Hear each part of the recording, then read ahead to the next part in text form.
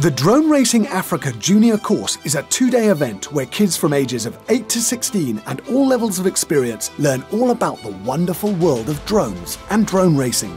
They start with some theory and soon move on to the fun stuff. The simulators are where some of them get their first experience with flying drones. The beginners usually start with line of sight, and the more advanced kids use the FPV or first person view goggles. After this, they get an adrenaline rush and experience a taste of what it is like to race a real racing drone, while they get an FPV experience from a real racing drone pilot. For some, it will be their first experience with FPV goggles. Then the real fun starts. They get to fly their own drones all by themselves. These are micro drones that fit into the palm of your hand, called the Inductrix. They use similar controllers used for the simulators, and the kids will first start flying using line of sight. The looks on some of their faces are priceless. Luckily, these drones are quite resilient.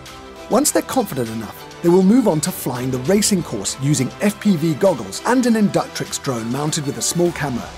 It's where technology meets sport, allowing children to just have a whole lot of fun. Now they can fly as if they're inside the cockpit of the drone. And this is what drone racing is all about, while learning something new and useful, and in the process making friends with similar interests. It's, it's fun, it's really cool. Being able to fly the drone with the goggles on, that's the best thing ever. Get your kids signed up today. Go to droneracingafrica.com for our next event.